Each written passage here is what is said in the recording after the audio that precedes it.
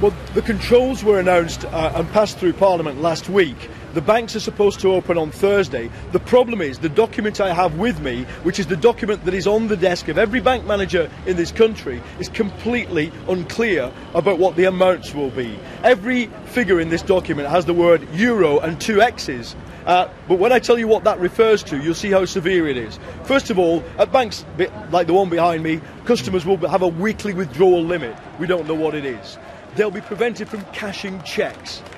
Uh, certain banks that are stressed in terms of their own access to cash, there may even be, and this is what the directive says, uh, there may even be the power to prevent debit and credit cards being used by bank customers except in transactions with other customers of that bank.